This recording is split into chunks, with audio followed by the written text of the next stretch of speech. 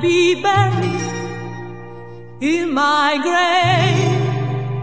and go home to my Lord and be